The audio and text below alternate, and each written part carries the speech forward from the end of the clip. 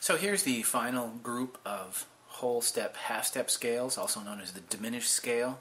And this group is going to start on D, F, A flat, and B.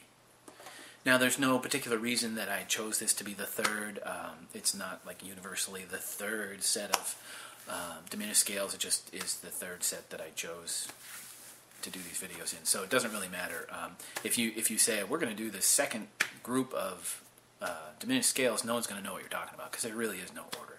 But there are three different groups of notes, and I just happen to be doing this one third. So these are the whole step, half step scales built on the D, the F, the A flat, and the B. Okay, I'll just start on D.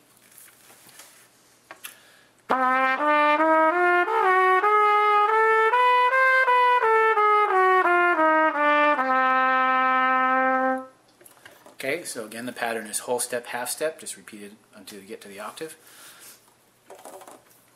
So here we are starting on the F this time.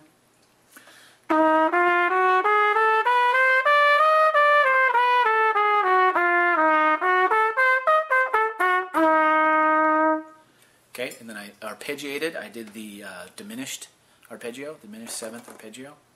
So now starting on A flat, going from A flat to A flat, same group of notes whole step, half step scale, or the A flat diminished scale.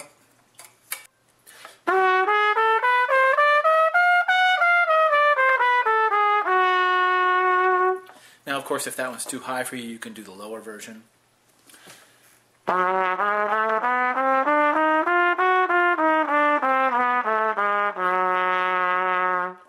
Okay, and finally the B diminished scale, or the B whole step, half step scale.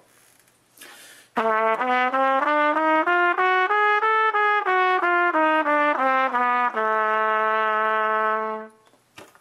so there they are.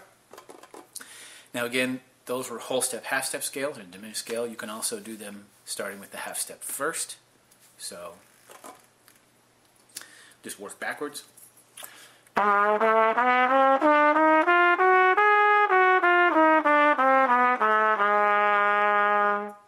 So that would be the B flat half step whole step scale. Uh, let's see, what are we going to do next? How about the E?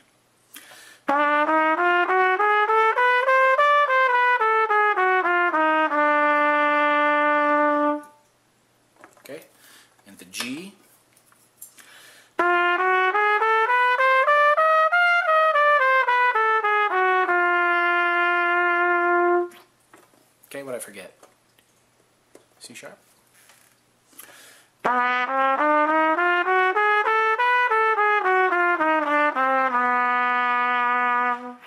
Okay, so there are the versions of all of the scales on that group of notes. Again, same exact group of notes, just starting in different places and you get the different scales. Again, those are the diminished scales. They work on seventh chords, they work on diminished chords, and uh, they're worth your practice time. So have fun. Good luck with your practice.